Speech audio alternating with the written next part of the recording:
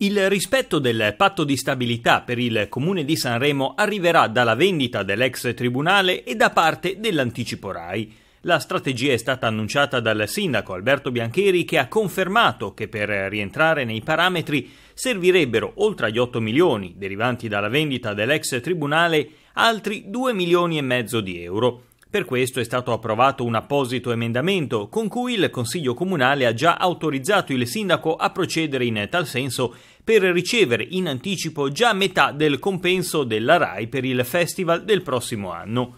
Con questo emendamento, riscontrata la disponibilità della RAI di anticipare la quota del 2016 e la necessità di incassare la somma entro il 31 dicembre, ha detto il capogruppo di Sanremo al Centro, Alessandro Sindoni, si vuole incaricare il sindaco e la giunta di adottare tutti gli atti necessari con la RAI per ricevere un adeguato anticipo del corrispettivo 2016, in modo da consentire il rispetto del patto di stabilità, autorizzandone già l'eventuale necessaria fideiussione. Sottolineo la parola adeguato, prosegue Sindoni, perché non servirebbe neanche tutto e questo sarebbe una novità rispetto al passato. Il rischio di sforare il patto è dietro l'angolo, sono però convinto che con i rapporti che il sindaco si è costruito ce la farà.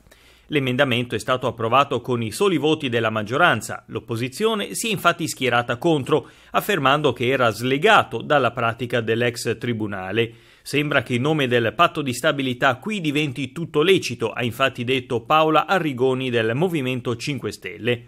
Ora si attendono notizie dalla RAI che potrebbero già arrivare nelle prossime ore.